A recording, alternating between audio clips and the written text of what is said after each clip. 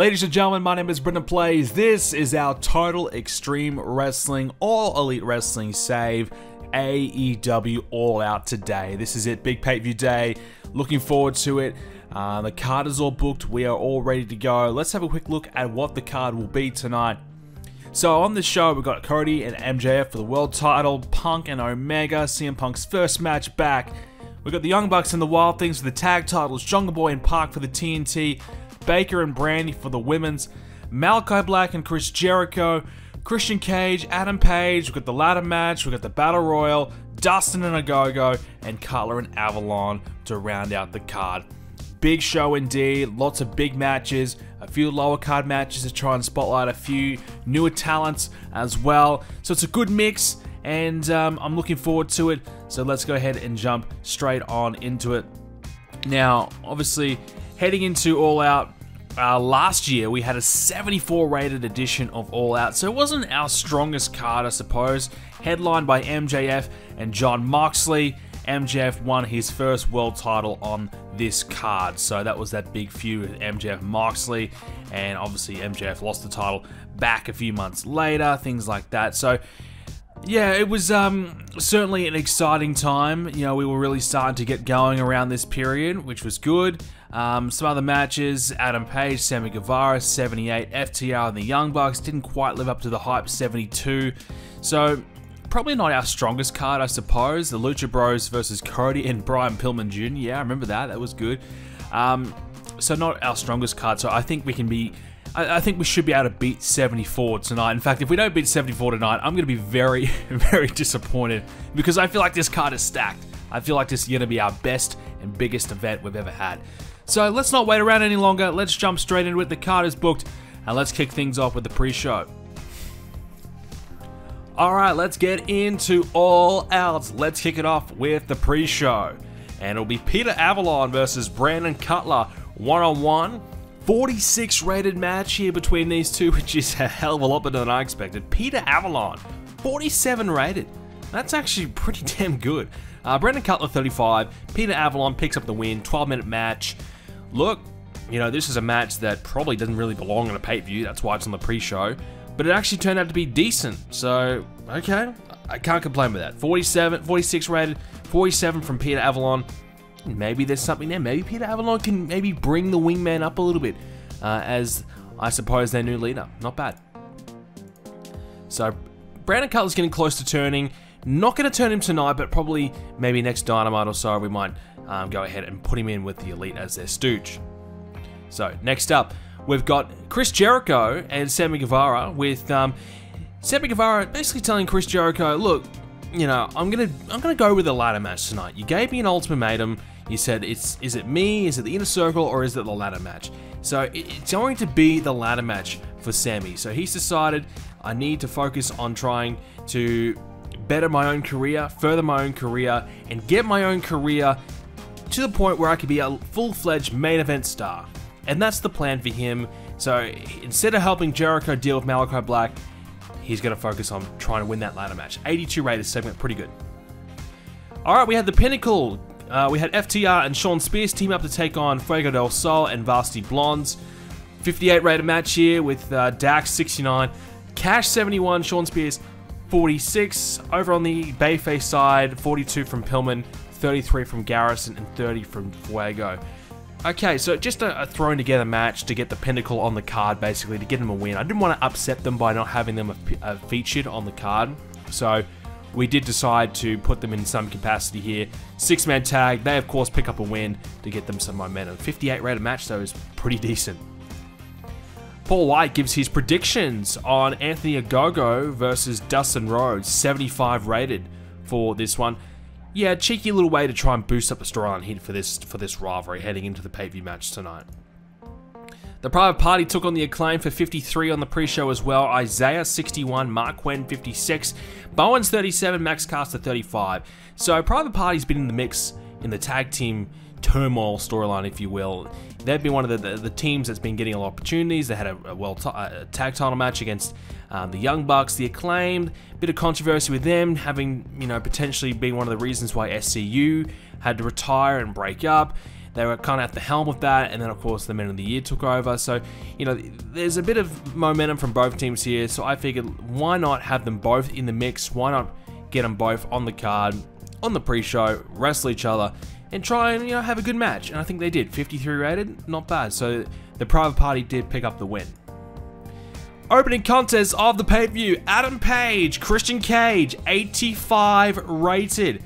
Adam Page, 83, Christian, 76. Both guys performing really, really well. Adam Page picks up the win, 19 minute match. Great result for Adam Page, great match. Christian Cage delivers again as well. You know, he's been really good since returning. Uh, he's been a real asset for the team. Adam Page hasn't quite won the big one. He's been so close, hasn't quite got there yet. But um, a win here to keep his momentum building and to keep him looking good as one of our top stars in the company. Cody Rhodes gives a promo on his match with MJF tonight, 83 rated. Pretty good. So Cody Rhodes, quick little comment before his big match in the main event. Alright, we had the Casino Battle Royale with the women of AEW fighting it out here. So in the end, Jade Cargill picks up a win in about 11 minutes. Uh, we had Kris Statlander and Nyla Rose as the final four with Kamille. So Kamille, obviously making her debut here, gets her first chance to show what she can do in the ring. She's on alone, so we got her for five appearances. So we gave her a strong showing here. Um, Kris Statlander was the last one eliminated. Jade got the most eliminations, and Nyla Rose survived the longest. So, yeah, good overall match. Um, you know, we tried to feature all the women here and get them on the card, get them in a big spot here, and 48 rated. So I feel like I feel like this could be a really good thing for the women because a lot of the women got featured in this one, especially some of the lower cards. So it's a way to get pretty much all the women, you know, every woman on the roster, I think, I think except maybe one, was in this match. So that's a good thing. It should help get them all to that minimum benchmark popularity and potentially even um, increase their popularity by being involved in a, a pretty decent 48 rated match. So there's a chance that this could really lead to a lot of good things. Jade Cargill picks up the win. Um, we're looking to maybe do a storyline with Jade and Britt Baker going forward, with potentially turning Britt Baker as a babyface. Jade Cargill stays as a heel, and we kind of flip the script a little bit and go in that direction. Post match, though, Kamille's furious that she lost because Jade kind of cheated and threw her out of the ring, um, and they brawled post match. So 40 rated here for this one. And we're going to set up a little short-term program between Jade and Kamille, Obviously, two big women, fight it out, you know, and kind of give Jade one more big win before she gets her title match. So, uh, looking forward to seeing how that one kind of plays out in the future. Jungle Boy and PAC had a 77 rated match. Are you kidding me? Wow. Wow. PAC 80, Jungle Boy 64. Great, great match. PAC defeated Jungle Boy in about 20 minutes, and it makes it his 14th defense of his TNT Championship. So PAC still delivering the goods, still showing us what he can do, still showing us why he's the one of the best on the roster, and a great win. Great showing though for Jungle Boy, real chance to see show us what he can do as a singles, and you know it, it won't be a singles run for him anytime soon, but it kind of forecasts what he might be able to accomplish uh, down the line in his career. Post match, Luchasaurus made his return, so he's been out of action for a month or so to help Jungle Boy from a Death Triangle assault. So Penta PAC try to, you know, beat down Jungle Boy even more after the match, but Luchasaurus comes in to save the day. So we bring back Luchasaurus, reunite Jurassic Express, and we probably go back in the tag team direction for Jungle Boy and Luchasaurus. Maybe even go back to the FTR rivalry that we didn't get a chance to really complete. Next up, we had the Casino Ladder Match. 52! Oh no. Oh my goodness. 52 rated for this one. Now, before we went ahead and did this match, and I'll show you the proof, we had a message from the road agent. He said, look, the fans of AEW are not going to like this sort of match. Uh, I couldn't believe it. You know, who why would AEW fans not like an eight-man ladder match? They're gonna they're gonna like that, of course. But apparently not on these product settings. The fans don't like it. So we were going to be penalized for having this style of match. And me thinking to myself, look, you know what? I'll take the penalty. I'm gonna do an eight-man ladder match. I've been saying I've been gonna do an eight-man eight-man ladder match all this time. I can't back out on it now. So we went ahead, we did it, and the fans absolutely hated it. 52 rated, it sucked. Orange Cassidy 60, Guevara 84, best in the match. Hobbs 53, Cage 68, Starks 56, Archer 66, Miro 79, Rey Fenix 72. Those performances were good. It, it, realistically, if we didn't get penalized, I think this is a 75 rated match. Honestly, I think this goes down pretty well. Maybe because it's a, a multi-man match, maybe like 71, 72. But a lot of the guys in the match did really well. Even Hobbs, you know, 53, Starks 56, the two of the lesser performers, both did really, really well. So honestly, I'm surprised that it didn't didn't go that well, even though we had the penalty. But regardless, Sammy Guevara, he picked up the win. Uh, 17 minute match. Guevara grabs the, the briefcase or the contract, whatever you want to call it. Uh, maybe, uh, yeah, the casino chip. That's what they use. Yeah, the big chip. And uh, he's now the next contender for the World Championship. So Sammy Guevara will get a world title match next. Post match in the backstage locker room, Chris Jericho interrupted Sammy Guevara's post match interview and congratulated him. When I say congratulate, you know, was it genuine? Was Jericho kind of still annoyed that he didn't really want to help him out in his match? You know, Jericho, a bit snarky, you know, a bit kind of, uh, you know, just a bit, bit of a shitty way that he kind of went about it.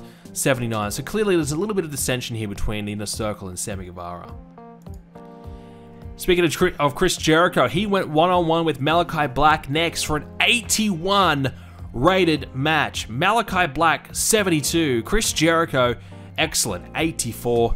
Malakai Black gets a clean win over Chris Jericho. So obviously the storyline's been, you know, look, Malakai Black took care of the inner circle. He's been beating them down. He, he beat down, uh, even beat down Sammy Guevara. But Sammy Guevara, look, he wasn't looking for revenge. He, he didn't have time or the energy to focus on Malakai Black. He had to focus on winning the ladder match. And it's meant that the inner circle have been a little bit distracted, even weakened, I suppose you could say. Chris Jericho's head's not in the game, and Malakai Black's been able to take care of the inner circle and kind of cause dissension between the group. So Malakai Black grabs a win here over Chris Jericho.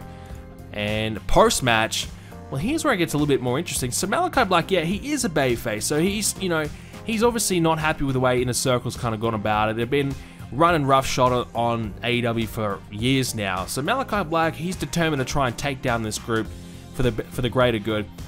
Post match, the Inner Circle tried to beat down Malakai Black, but Darby Allin, finally, Darby Allin is back makes his return to save Malakai Black. So we bring back Darby. We're going to have Darby and Malakai form an alliance. They're going to go together. I feel like that's a nice pairing.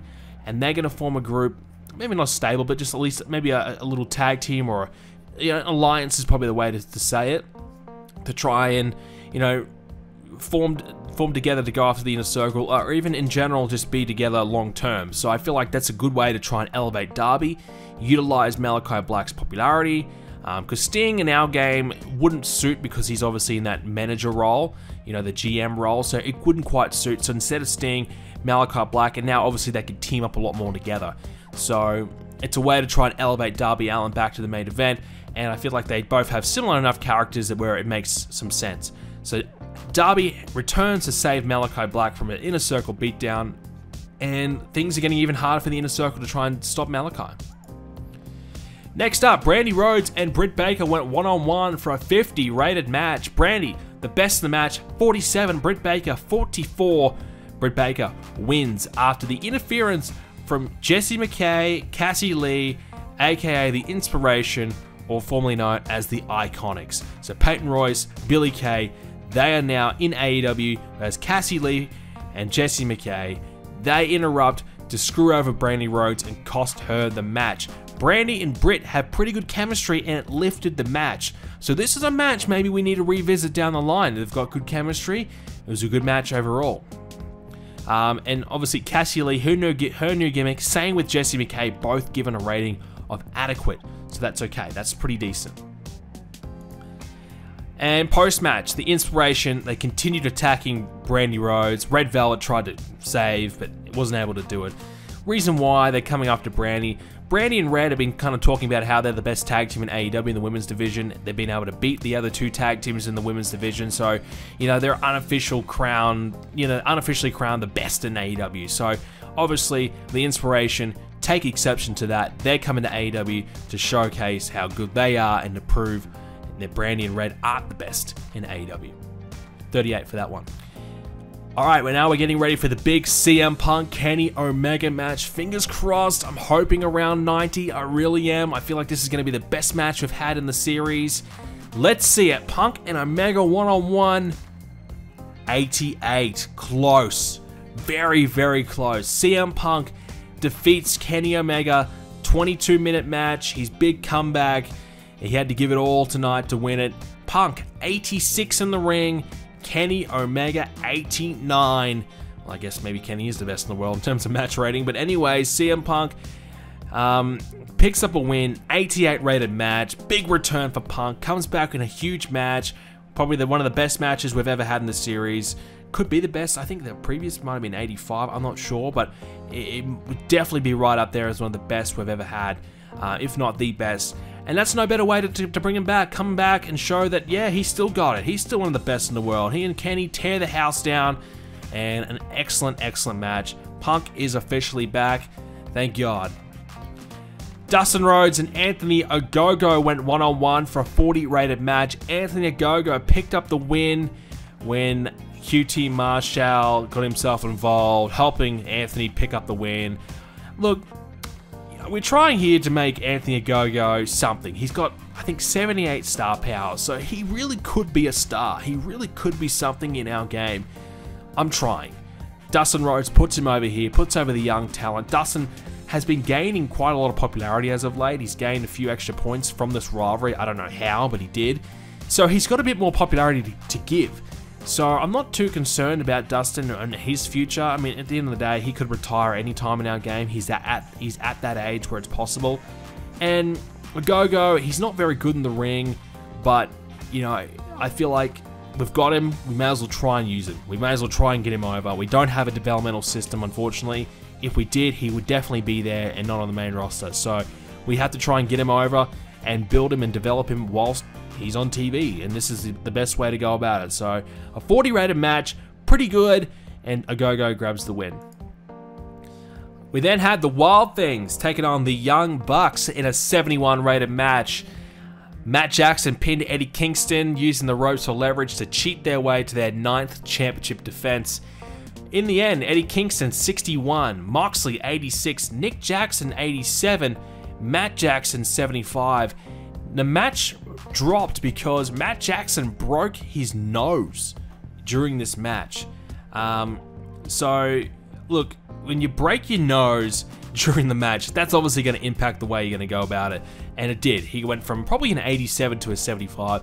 If he had performed at 100%, I feel like this match gets close to 80. Kingston brings it down, yes, but there was enough there to really um, get them to the point where this match could be right up there as one of the better ones of the night. But unfortunately, the broken nose brings this one down a little bit. Maybe we need a rematch. I don't know. I, I, but Matt, Matt Jackson, a broken nose, he might be, you know, he, will still be able to wrestle, but he might be working through an injury for a few weeks. So he might, we might have to wait for that rematch for a few weeks, anyways. All right, let's continue on. So Moxley botched his move, injuring Matt Jackson. So he's got some backstage heat. So maybe the EVPs might be looking to get Moxley out of here. That's not good. Alright, we had an MJF promo ahead of his big title defense, 79 rated. Alright, main event time. We know the main event isn't going to be as good as the Punk match, but I'm hoping that it's maybe as good as the Adam Page Christian match. So Punk, eh, sorry, Cody Rhodes, MJF in the main event. Can it beat the Punk match? I don't know, but let's have a look. I'm hoping for 85. The main event of All Out, 79. Wow. Wow, okay. Cody, 86. MJF, 87. It looks like the storyline heat is the reason why this fell. I didn't check the storyline heat heading into the main event. Um, I didn't know how good it was, but it looks as though potentially, potentially this um, didn't quite get there. They didn't quite, you know, deliver the way that we wanted. I thought the storyline hit was around, you know, the 90s. I thought it was really, really good, you know, heading in. We had some really good promos between both guys. Maybe it fell off a little bit in the last few weeks. So, unfortunately, 79 for the main event really kind of brings down what would have been an amazing pay-per-view. We would have had definitely our best show ever. Maybe the main event brings it down a little bit. In the end, Cody Rhodes does become the new AEW World Champion. We've given him the belt after all this time. You know, he finally gets his ultimate revenge on MJF, taking the World Championship from him in the main event of All Out. 79 rated, big, big win for Cody. And post match, Cody Rhodes celebrates winning the championship as well. In with you know, gets amongst the fans. Huge win for Cody. Big babyface uh, reaction and support for Cody. So, I guess when you think about it, you know, they had to follow up from two amazing matches. The opener was great, Omega and Punk was great. So they had a huge burden to try and overcome. Could they deliver? Could they go better than those matches? Well, the answer was no, they couldn't. And it gives us an 87 rated show. The best show we have ever done without a doubt. Without a doubt. Wow. Wow, wow, wow. Okay, so obviously Punk and Omega was the best match in the card. We had Malakai and Jericho 81. Um, and Christian, I, I can't believe that got 85. That is incredible. So really, top to bottom, majority of the matches, all the big ones anyways, delivered. They were excellent. Really, only the ladder match was poor. But um, let's give some support. Um, Kenny Omega did great. Uh, obviously, so um, yeah, I'll go Adam Page. He was great in his performance. And you know what? I'm going to give Dustin Rhodes. I'm going to give him a hug for putting over Anthony Ogogo. That's that's class. Appreciate it. Trying to help the new young guy. He wasn't he wasn't happy about it either. So uh, Mega's very happy. Page is pleased. So is Dustin Rhodes. Let's take a look at the fallout from All Out as we had an 87 rated show, 25,000 in attendance, so we went for a big building, it sold out, 358,000 buys. Now that's not a realistic number, and I'm aware of that. That's a little bit way inflated.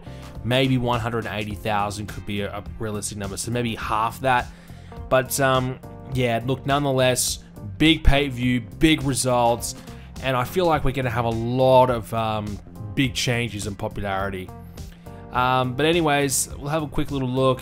Um, we also had 358,000 viewers. Maybe that, that's just the buy rate, yeah. 358,000, which is great. Matt Jackson obviously injured. We'll have a quick little look to see how long that injury is. Is he going to miss any time?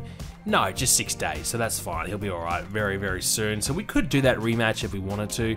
Um, but what we'll find now is obviously having such a huge pay-per-view, we gained $644,000 in revenue. Ticket sales, obviously, you know, filling out a 25,000 seat building um, is going to mean we're going to make a big amount of money this month. It's probably going to be our highest, you know, easily our most money we've made in a month for sure. You know, with our pay-per-view revenue, it was way higher than any other one, way way higher than Double or Nothing. So, huge, huge money, huge, huge result for us. So, let's jump in. Let's take a look at the popularity changes. We'll start with the main event guys. Adam Page, obviously, excellent match. Doesn't look like he had much of a change despite the win over Christian. Now, Jericho put over Malakai Black, so I probably should have given Jericho a bit of praise too. Jericho was around 85 popularity, put over Malakai Black, and Malakai has gone up to, well, 77 now in the Southeast. A few other areas around, you know, has jumped up a little bit, but in the Southeast in particular, our home area, gone from 72 to 77. Basically now, Malakai Black is a made man. You know, he's one of the, the top stars in the company. I tell you what, he might want to start acting like it. You know, his performances were okay. 72 against Jericho here, it's not amazing, is it? It's a lot to kind of really prove here. He really does need to you know, perform a lot better than that. It just was not good enough. Simple as that. Um, but yeah, so Jericho suffers a little bit. Christian Cage looks like he might have gone down, maybe? No. Okay, no, never mind. He's gone up a little bit. Um, must a small little increase. CM Punk hovering around the mid 80s. So he's doing fine. Uh, nothing to really to worry about there with Punk. So if anything, he's been gaining popularity. Wouldn't have gained a lot though, you know, from beating Kenny Omega because of the popularity difference. Cody Rhodes now 81 popularity. So big, big shoes for Cody to fill. He's now the world champion. Now, I gave him the belt. I didn't actually have much like plans beyond giving him the championship, but obviously now there's so many guys for him to kind of deal with. And of course, we're going to be signing Adam Cole. We're going to be signing Bryan Danielson. So there's a few factors involved there.